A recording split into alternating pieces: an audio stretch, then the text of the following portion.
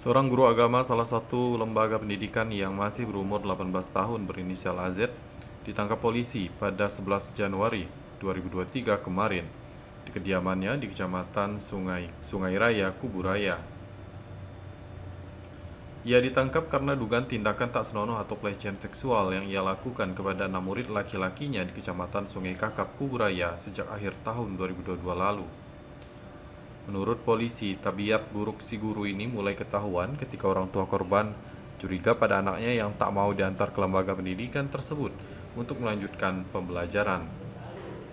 Awalnya si anak beralasan tak mau lagi belajar karena telah mendapat perlakuan kasar dari si guru.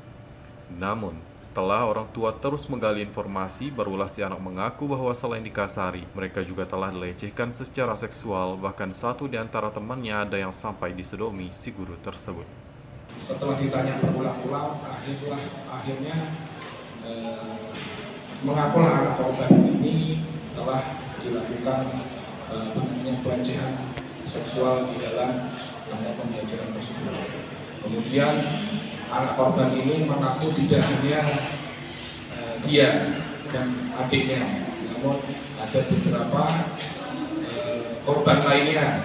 Ini setelah kita telusuri, setelah saat ini pelaku AZ masih diproses dan sedang berada di tahanan Polres Kuburaya. Sementara anak-anak yang merupakan korbannya sedang dalam proses pemulihan trauma. Menurut Kapolres Kuburaya, KBP Arif Hidayat Modus pelaku melakukan perbuatan itu dengan membujuk rayu dan mengintimidasi korban. Tadi bisa kami sampaikan di sini yaitu yang dilakukan oleh tersangka yaitu dengan melakukan bujuk uh, rayu terhadap korban atau anak-anak di bawah umur ini dalam melakukan aksinya yaitu pelecehan seksual. Serta Pon TV memberitakan.